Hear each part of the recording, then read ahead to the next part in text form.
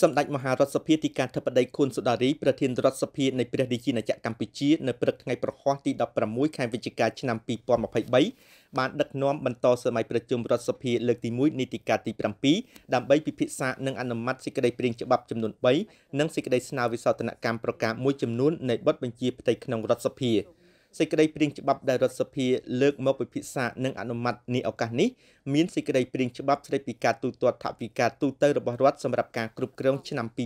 2022សេចក្តីព្រាងច្បាប់ស្តីពីហិរញ្ញវត្ថុសម្រាប់ការគ្រប់គ្រងឆ្នាំ2024 សេចក្តីព្រាងច្បាប់ស្តីពីការអនុម័តយល់ព្រមលើកិច្ចព្រមព្រៀងភាពជាដៃគូសេដ្ឋកិច្ចគ្រប់ជ្រុងជ្រោយរវាងរដ្ឋាភិបាលនៃព្រះរាជាណាចក្រកម្ពុជា និងរដ្ឋាភិបាលនៃអេមីរ៉ាតអារ៉ាប់រួមនិងសេចក្តីស្នើវិសោធនកម្មប្រការ4ថ្មីប្រការ6ថ្មី2និងប្រការ29ថ្មីបទបញ្ជាផ្ទៃក្នុងនៃរដ្ឋសភា សេចក្តីព្រាងច្បាប់និងសេចក្តីស្នើវិសោធនកម្មច្បាប់ខាងលើនឹងក្លាយជាច្បាប់និងបទដ្ឋានគតិយុត្តដ៏សំខាន់ក្នុងការដឹកនាំប្រទេសជាតិក៏ដូចជាស្ថាប័ននិងសម្រាប់ធ្វើការអភិវឌ្ឍប្រទេសពង្រីកវិសាលភាពទំនាក់ទំនងពាណិជ្ជកម្មជាមួយប្រទេសជាមិត្តដើម្បីលើកកម្ពស់សេដ្ឋកិច្ចជាតិនិងជីវភាពរស់នៅរបស់ប្រជាពលរដ្ឋឲ្យកាន់តែប្រសើរឡើងជាលំដាប់ស្របតាមយុទ្ធសាស្ត្របញ្ចកោណដំណាក់កាលទី1នៃរាជរដ្ឋាភិបាលអាណត្តិទី7 តួយ៉ាងដូចជាសេចក្តីព្រាងច្បាប់ស្តីពីហិរញ្ញវត្ថុសម្រាប់ការគ្រប់គ្រងឆ្នាំ2024គឺត្រូវបានតាក់តែងឡើងក្នុងបរិការដែលរាជរដ្ឋាភិបាលនីតិកាលទី7នៃរដ្ឋសភាបានប្រសូតចេញពីការបោះឆ្នោតដោយសេរីយុត្តិធម៌ត្រឹមត្រូវនិងមានតម្លាភាពស្របទៅតាមគោលការណ៍នៃលទ្ធិប្រជាធិបតេយ្យសេរីពហុបកដែលមានប្រជាពលរដ្ឋចូលរួមបោះឆ្នោត រហូតដល់ជាង8លាន2សែននាក់ត្រូវជាប្រមាណ84កណ្ដកសញ្ញា59%នៃចំនួនប្រជាពលរដ្ឋមានឈ្មោះនៅក្នុងបញ្ជីអ្នកបោះឆ្នោតសេចក្តីព្រាងច្បាប់ស្តីពីហិរញ្ញវត្ថុសម្រាប់ការគ្រប់គ្រងឆ្នាំ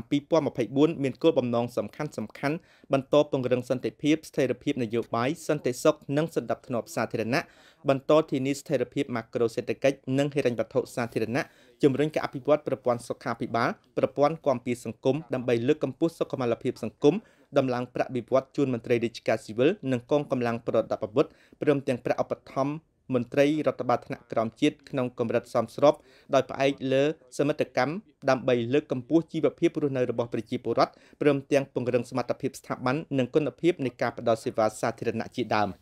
ចំណែកសេចក្តីព្រាងច្បាប់ស្តីពីការអនុម័តយល់ព្រមលើ កិច្ចព្រមព្រៀងភាពជាដៃគូសេដ្ឋកិច្ចគ្រប់ជ្រុងជ្រោយរវាងរដ្ឋាភិបាលនៃព្រះរាជាណាចក្រកម្ពុជានិងរដ្ឋាភិបាលនៃអេមីរ៉ាតអារ៉ាប់រួមវិញមានគោលបំណងធ្វើឲ្យប្រសើរឡើងនៅការធ្វើពាណិជ្ជកម្មរវាងប្រទេសទាំងពីរស្របតាមឯកទេសភាវូពាណិជ្ជកម្មនិងសក្តានុពលដែលមានស្រាប់រវាងកម្ពុជានិងអេមីរ៉ាតអារ៉ាប់រួម កិច្ចព្រមព្រៀងនេះនឹងជំរុញការធ្វើពាណិជ្ជកម្មនិងទាក់ទាញការវិនិយោគសម្ដៅចូលរួមជំរុញកំណើនសេដ្ឋកិច្ចនិងកាត់បន្ថយភាពក្រីក្រចូលរួមបង្កើនផលិតភាពគុណភាពនិងលើកកម្ពស់ការប្រកួតប្រជែងសម្រាប់ផលិតផលទំនិញនិងសេវាតាមរយៈការផ្តល់ការគាំទ្រដល់សហគ្រាសធុនតូចនិងមធ្យមជំរុញការធ្វើពិពិធកម្មទីផ្សារនាំចេញផលិតផលកម្ពុជាទៅកាន់ទីផ្សារថ្មីថ្មីពិសេសទីផ្សារមជ្ឈមបូព៌ានិងអាហ្វ្រិក អង្គប្រជុំរដ្ឋសភាបាននឹងកំពុងធ្វើការពិភាក្សានិងអនុម័តសេចក្តីព្រាងច្បាប់ខាងលើម្ដងមួយម្ដងមួយ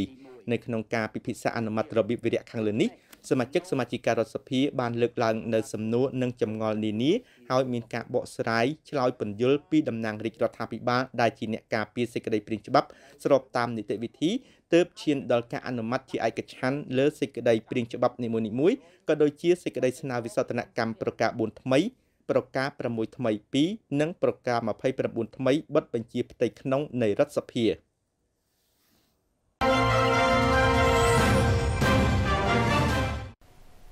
ទូរទស្សនិកជនជាទីគោរពចំណាយព័ត៌មានដែលយើងទទួលបាននៅក្នុងថ្ងៃនេះផងដែររដ្ឋមន្ត្រីក្រសួងព័ត៌មានអនុញ្ញាតឲ្យឯកអគ្គរដ្ឋទូតអារ៉ាប៊ីសាអូឌីតប្រចាំកម្ពុជាចូលជួបសម្ដែងការគួសមនិងពិភាក្សាការងារ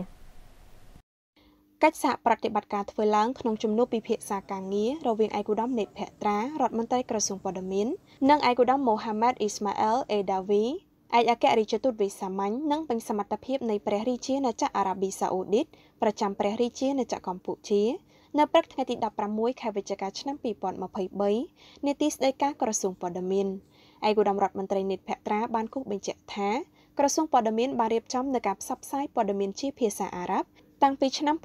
2022ហើយផ្សាយចេញទៅក្នុងគោលបំណងសំខាន់គឺឲ្យពិភពអារ៉ាប់បានដឹងអំពីស្ថានភាពពិតប្រាកដនៃប្រទេសកម្ពុជាហើយក៏បង្ហាញអំពីសក្តានុពលរបស់កម្ពុជាតាក់ទងជាមួយនឹងវិស័យទេសចរវិស័យសេដ្ឋកិច្ចនិងវិស័យផ្សេងៗទៀតរួមទាំងសាសនាផងដែរក្រសួងព័ត៌មានតាមរយៈទីភ្នាក់ងារសារព័ត៌មានកម្ពុជា AKP និង App ក្រសួងបានផ្សព្វផ្សាយព័ត៌មានប្រចាំថ្ងៃដោយបានបកប្រែពីភាសាខ្មែរទៅជាភាសាអារ៉ាប់ ដើម្បីឲ្យប្រជាជនដែលចេះភាសាអារ៉ាប់បានអានពិសេសទិសដៅសំខាន់ផ្សាយទៅពិភពនៃប្រទេសអារ៉ាប់បានស្គាល់កាន់តែច្បាស់អំពីប្រទេសកម្ពុជា និងដឹងពីសក្តានុពលផ្សេងៗដើម្បីតាក់ទាញអ្នកទេសចរនិងវិនិយោគិនមករកស៊ីនៅកម្ពុជា។ ក្នុងឱកាសនេះដែរក្រសួងព័ត៌មានកម្ពុជា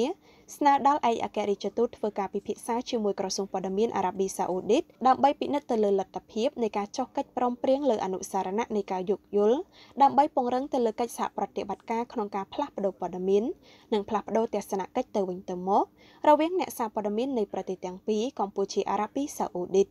ឯកឧត្តមម៉ូហាម៉ាត់អ៊ីស្ម៉ាអែលអេដាវីបានសម្ដែងនៅការអបអរសាទរជូនចំពោះឯកឧត្តមនេតភក្ត្រាដែលត្រូវបានតែងតាំងជារដ្ឋមន្ត្រីក្រសួងព័ត៌មានសម្រាប់អាណត្តិទី7នៃរាជរដ្ឋាភិបាលកម្ពុជាតាក់ទងនឹងកិច្ចសហប្រតិបត្តិការលើការផ្លាស់ប្តូរព័ត៌មានរវាងកម្ពុជា និងអារ៉ាប៊ីសាអូឌីតដែលបានពិភាក្សាគ្នានេះឯកឧត្តមឯកអគ្គរដ្ឋទូតបានឯកភាពសម្រាប់កិច្ចសហការដ៏ល្អនេះព្រោះវាមានសារៈសំខាន់សម្រាប់ប្រទេសទាំងពីរ។ ឯកឧត្តមម៉ូហាម៉ែតបានជម្រាបជូនអំពីគម្រោងបើកស្ថានទូតអារ៉ាប៊ីសាអូឌីតប្រចាំនៅទីក្រុងភ្នំពេញក្រុងធ្វើនៅឆ្នាំក្រោយ2024ដែលជាឱកាសដ៏ល្អក្នុងការពង្រឹងកិច្ចសហប្រតិបត្តិការគ្នាហើយតាមរយៈនេះឯកឧត្តមឯកអគ្គរដ្ឋទូតបានឯកភាពចំពោះការផ្សព្វផ្សាយព័ត៌មានគឺជាផ្នែកមួយនៃការចូលរួមពង្រឹងកិច្ចសហប្រតិបត្តិការនិងការយល់គ្នារវាងប្រជាជននិងប្រជាជន តាក់ទងទៅនឹងសំណើចុះអនុសារណៈនៃការយោគយល់ដើម្បីពង្រឹងទៅលើកិច្ចសហប្រតិបត្តិការក្នុងការផ្លាស់ប្តូរព័ត៌មាននៃប្រទេសទាំងពីរឯកឧត្តមឯកអគ្គរដ្ឋទូតនឹងយកសំណើនេះទៅជួបពិភាក្សាជាមួយរដ្ឋមន្ត្រីក្រសួងព័ត៌មានអារ៉ាប៊ីសាអូឌីតដើម្បីពិចារណាហើយចាត់តាំងជនបង្គោលសម្រាប់ពិនិត្យពិភាក្សាលើកិច្ចការងារទាំងអស់នេះ។ ឯកឧត្តមឯកអគ្គរដ្ឋទូតអារ៉ាប៊ីសាអូឌីតបានថ្លែងការកោតសរសើរដល់ប្រទេសកម្ពុជា ដែលមានសុខដុមរមណីយកម្មសាសនា ជាគំរូមួយសម្រាប់បណ្ដាប្រទេសផ្សេងផ្សេងផងដែរ What do you call dates and uh, Lamar? Lamar. Lamar.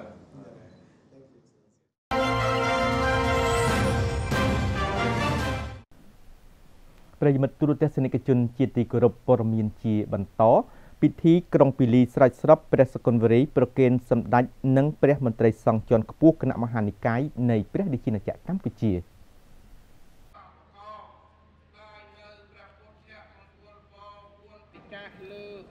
ពិធីក្រុងពីលីស្រេចស្របព្រះសកុនវរីប្រគេនសម្ដេចនិងព្រះមន្ត្រីសង្ឃជាន់ខ្ពស់គណៈមហានិកាយនៃព្រះរាជាណាចក្រកម្ពុជាចំនួន11ព្រះអង្គក្រមអធិបតីភាពឯកឧត្តមចៃបរិនរដ្ឋមន្ត្រីក្រសួងធម្មការនិងសាសនា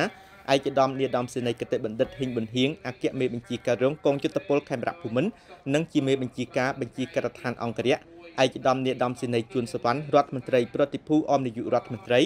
កឧត្តមខួងស្រេងអភិបាលនៃគណៈអភិបាលរាជធានីភ្នំពេញនៅវត្តមុនីសវណ្ណហៅវត្តចំពុះក្អែកនារសៀលថ្ងៃទី16ខែវិច្ឆិកាឆ្នាំ2023ពិធីក្រុងពេលីសុំពរជ័យសិរីសុស្ដីជ័យមង្គល ដើម្បីរៀបចំពិធីស្រេចស្រាប់ព្រះសុគន្ធវរីប្រគេនសម្ដេចនិងព្រះមន្ត្រីសង្ឃជាន់ខ្ពស់គណៈមហានិកាយនៃព្រះរាជាណាចក្រកម្ពុជាទៅតាមប្រពៃណីព្រះពុទ្ធសាសនាក្រោមការយកចិត្តទុកដាក់ដ៏ខ្ពង់ខ្ពស់របស់សម្ដេចមហាបវរធិបតីហ៊ុនម៉ាណែតនាយករដ្ឋមន្ត្រីនៃព្រះរាជាណាចក្រកម្ពុជាលើវិស័យព្រះពុទ្ធសាសនាដែលជាសាសនារបស់រដ្ឋបានចាត់តាំងគណៈកម្មការរៀបចំពិធីស្រោចស្រពព្រះសកុនវរីប្រគេនសម្ដេច និងព្រះមន្ត្រីសង្ឃជាន់ខ្ពស់គណៈមហានិកាយនៃព្រះរាជាណាចក្រកម្ពុជាចំនួន11ព្រះអង្គដែលនឹងប្រារព្ធធ្វើឡើងនៅថ្ងៃទី17ខែវិច្ឆិកាឆ្នាំ2023នៅវត្តមនីសវណ្ណហៅវត្តចម្ពុះក្អែកស្ថិតនៅសង្កាត់ព្រែកថ្មីខណ្ឌច្បារអំពៅរាជធានីភ្នំពេញសូមជម្រាបជូនផងដែរថាសម្រាប់វិស័យព្រះពុទ្ធសាសនាបានដើរតួនាទីយ៉ាងសំខាន់ក្នុងការរួមចំណែកអភិវឌ្ឍជាតិទាំងការអប់រំសិលធម៌ចរិយាធម៌គុណធម៌ និងសុជីវធម៌ដល់ពុទ្ធបរិស័ទគ្រប់គ្រប់រូប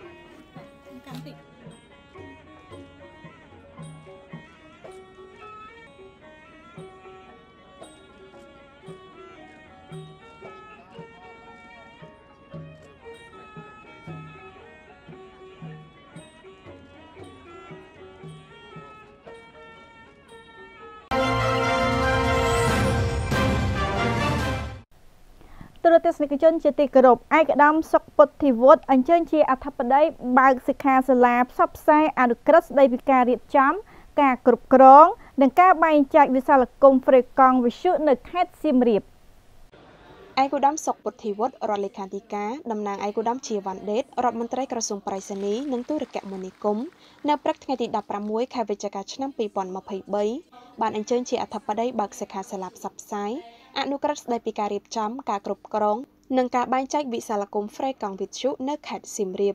តាមសន្ទរកថាស្វាគមន៍របស់ឯកឧត្តមជាងសុភ័ក្រអគ្គនាយកនៃអគ្គនាយកដ្ឋានគ្រប់គ្រងធនធានវិសាលគមហ្វ្រេកង់វិទ្យុនៃក្រសួងប្រៃសណីនិងទូរគមនាគមន៍បានជម្រាបជូនថាអនុក្រឹត្យស្តីពីការរៀបចំការគ្រប់គ្រងនិងការបែងចែកវិសាលគមហ្វ្រេកង់វិទ្យុជាបទដ្ឋានកតេយ្យុត្តដំបូងមួយ ដែលកំណត់អំពីការគ្រប់គ្រងធនធានវិសាលគមហ្វ្រេកង់វិទ្យុហើយដែលមានលក្ខណៈបច្ចេកទេសស្មុគស្មាញដែលត្រូវការផ្សព្វផ្សាយឲ្យបានទូលំទូលាយដល់ថ្នាក់ដឹកនាំនិងមន្ត្រីជំនាញថ្នាក់ជាតិនិងថ្នាក់ក្រោមជាតិរបស់ក្រសួង ជាជំហានបន្ទាប់ក្រសួងប្រៃសណីនិងទូរគមនាគមន៍នឹងរៀបចំសិក្ខាសាលាផ្សព្វផ្សាយអនុក្រឹត្យនេះដល់ក្រសួងស្ថាប័នពាក់ព័ន្ធប្រតិបត្តិការទូរគមនាគមន៍និងសាធារណជន ដើម្បីស្វែងយល់ឲ្យបានស៊ីជម្រៅអំពីយន្តការបែបបទនិងនីតិវិធីនៃការគ្រប់គ្រងលើធនធានវិសាលគមហ្វ្រេកង់វិទ្យុព្រមទាំងយល់ដឹងអំពីអត្ថប្រយោជន៍និងការប្រើប្រាស់ធនធានវិសាលគមហ្វ្រេកង់វិទ្យុឲ្យអស់លទ្ធភាពព្រោះថាការគ្រប់គ្រងធនធានវិសាលគមហ្វ្រេកង់វិទ្យុប្រកបដោយប្រសិទ្ធភាពនិងចូលរួមចំណែកដល់ការលើកកម្ពស់ ការអភិវឌ្ឍហេដ្ឋារចនាសម្ព័ន្ធ Digital ដែលគ្រប់គ្រងដល់ក្របខ័ណ្ឌគោលនយោបាយសេដ្ឋកិច្ចនិងសង្គម Digital ឆ្នាំ2021ដល់ឆ្នាំ2035និងគោលនយោបាយរដ្ឋាភិបាល Digital កម្ពុជាឆ្នាំ2022ដល់ឆ្នាំ2035ផងដែរបន្តពីសន្ទរកថាស្វាគមន៍របស់ឯកឧត្តមម៉ៅដារិន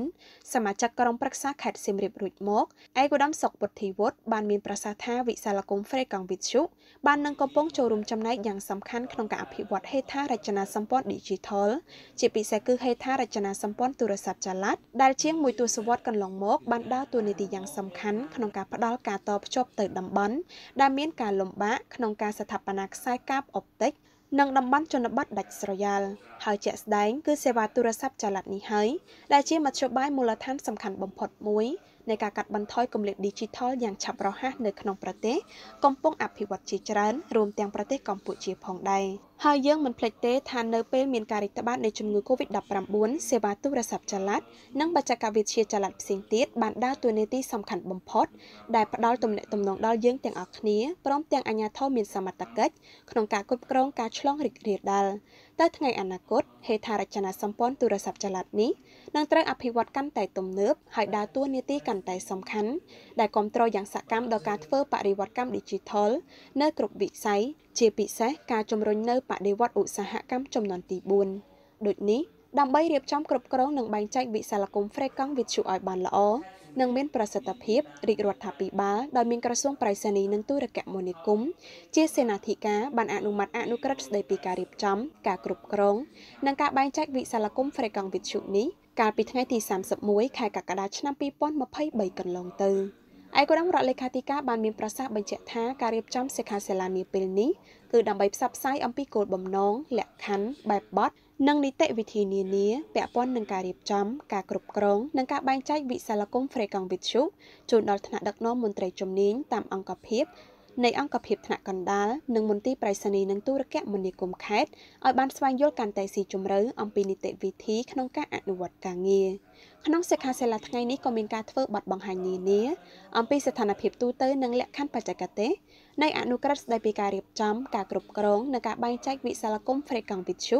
ជូនដល់សិក្ខាកាមផងដែរ ជាមួយគ្នានេះក្រសួងនឹងបន្តរៀបចំលិខិតបទដ្ឋានកតេយ្យុត្តមួយចំនួនទៀតដែលមានចង្អុលបង្ហាញនៅក្នុងអនុក្រឹត្យដើម្បីធានាការអនុវត្តអនុក្រឹត្យនេះប្រកបដោយប្រសិទ្ធភាព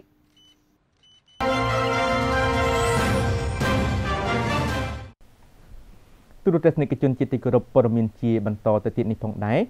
ឯកឧត្តមបណ្ឌិតសភាចាហ៊ានសាហ៊ីបបើកពិព័រណ៍ផ្សារភិហ៊ុនកម្ពុជា My First Stock ឆ្នាំ2023 នៅផ្សារទំនើប Eon Mall ភ្នំពេញមានរៀបចំពិព័រណ៍ផ្សារភាគហ៊ុនកម្ពុជា My First Stock ឆ្នាំ2023ពិព័រណ៍ផ្សារភាគហ៊ុនកម្ពុជាជាលើកទី6នេះបានប្រព្រឹត្តទៅក្រោមអធិបតីភាពឯកឧត្តមបណ្ឌិតសភាចាស់ហ៊ានសាហ៊ីបរដ្ឋលេខាធិការក្រសួងសេដ្ឋកិច្ចនិងហិរញ្ញវត្ថុនិងជាប្រធានក្រុមប្រឹក្សាភិបាលនៃផ្សារមូលបត្រកម្ពុជា ពិព័រណ៍ផ្សារភាគហ៊ុនកម្ពុជាឆ្នាំ2023នេះមានរយៈពេលចំនួន4ថ្ងៃគឺចាប់ពីថ្ងៃទី16ដល់ថ្ងៃទី19ខែវិច្ឆិកាឆ្នាំ2023ត្រូវបានរៀបចំឡើងក្នុងគោលបំណងសំខាន់ៗដូចខាងក្រោម1លើកស្ទួយវិស័យមូលបត្រនៅកម្ពុជាតាមរយៈការផ្សព្វផ្សាយនិងការបញ្ជ្រាបការយល់ដឹងដល់សាធារណជន ជាពិសេសវិនិយោគិនសក្តានុពលទាំងវិនិយោគិនជាតិនិងអន្តរជាតិឲ្យបានស្គាល់និងយល់ដឹងបន្ថែមអំពីផ្សារមូលបត្រកម្ពុជា ក៏ដូចជាអត្ថប្រយោជន៍ដ៏ច្រើននៃទីផ្សារនេះ2ផ្ដល់ឱកាសជូនវិនិយោគិននិងសាធារណជនក្នុងការសិក្សាស្វែងយល់កាន់តែច្បាស់អំពីវិស័យមូលបត្រនៅកម្ពុជាតាមរយៈជំនួបផ្ទាល់ជាមួយនិយត្តករប្រតិបត្តិការក្រុមហ៊ុនមូលបត្រក្រុមហ៊ុនបោះផ្សាយមូលបត្រនិងតួអង្គពាក់ព័ន្ធផ្សេងផ្សេង3សម្ពោធដាក់ឲ្យប្រើប្រាស់ជាផ្លូវការនៅប្រព័ន្ធបើកគណនីជួញដូរតាមអនឡាញចំនួនទី2 តាមរយៈការតភ្ជាប់ជាមួយថ្នាលផ្លាស់ប្តូរទិន្នន័យកម្ពុជា ChemDX និងប្រព័ន្ធផ្ដល់លេខអត្តសញ្ញាណវិនិយោគិនតាមប្រព័ន្ធអនឡាញ Investor ID Online របស់និយត្តករមូលបត្រកម្ពុជាវិនិយោគិនអាចទទួលបានគណនីជួញដូរភ្លាមៗនៅគ្រប់ទីកន្លែងនិងដោយស្វ័យប្រវត្តិ 4សម្ពោធដាក់ឲ្យប្រើប្រាស់ជាផ្លូវការនៅកញ្ចប់ promotion ពិសេសសម្រាប់វិនិយោគិនថ្មីតាមរយៈការជំរុញការបើកគណនីជួញដូរដោយផ្ដល់ជូនសាធារណជននៅលេខអត្តសញ្ញាណវិនិយោគិននិងគណនីជួញដូរដែលឥតគិតថ្លៃការបញ្ចុះកម្រៃជើងសារ50%រហូតដល់ចុងឆ្នាំ2023 និងការលេងល្បែងកំសាន្តផ្សេងផ្សេងដើម្បីទទួលបានរង្វាន់ជាសាច់ប្រាក់ឬភាគហ៊ុនដែលដាក់ចូលក្នុងគណនីវិនិយោគបន្ទាប់ពីវិនិយោគិនបានដាក់ស្នើនិងទទួលបានគណនីភ្លាមភ្លាមឯកឧត្តមបណ្ឌិតសភាចាស់ហ៊ីនសាហ៊ីបបានគូសរំលេចជូនអង្គពិធីថាផ្សារមូលបត្រកម្ពុជាតែងផ្ដល់អតិភិបខ្ពស់លើការធ្វើទំនើបកម្មនិងការប្រើប្រាស់ប្រព័ន្ធបច្ចេកវិទ្យាក្នុងវិស័យមូលបត្រជាក់ស្ដែងការដាក់សម្ពោធឲ្យប្រើប្រាស់ជាផ្លូវការកម្មវិធីទូរស័ព្ទដៃ CS Extract កាលពីខែឧសភាឆ្នាំ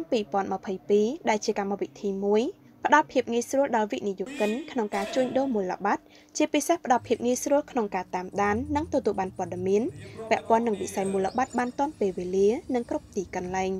ការសម្ពោធដាក់ឲ្យប្រើប្រាស់ជាផ្លូវការប្រព័ន្ធបើកគណនីជួញដូរតាមអនឡាញចំនួនទី2នេះជាសក្ខីភាពមួយទៀតដែលបង្ហាញអំពីភាពរីកចម្រើនមួយជំហានធំរបស់វិស័យមូលបត្រនៅកម្ពុជា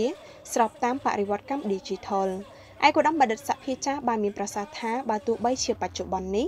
ចំនួនក្រុមហ៊ុនចុះបញ្ជីនិងការជួញដូរមិនទាន់សកម្មខ្លាំងក្លាក៏ដោយការអភិវឌ្ឍរបស់ទីផ្សារនេះកំពុងធ្វើដំណើរទៅមុខយ៉ាងស្វាហាប់តាមរយៈការបង្កើតផលិតផល និងសេវាកម្មថ្មីៗជាបន្តបន្ទាប់ព្រមទាំងការផ្សព្វផ្សាយនិងការបណ្ដុះបណ្ដាលដែលបាននឹងកំពុងអនុវត្តដល់វិនិយោគិនសាធារណៈ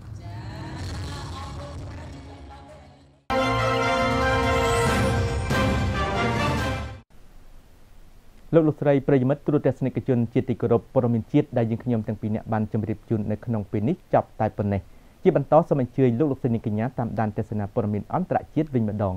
ចំពោះវត្តមានរបស់យើងខ្ញុំទាំងពីរនាក់នៅក្នុងពេលនេះសូមអរគុណនិងសូមគោរពលាត្រឹមតែប៉ុណ្ណេះ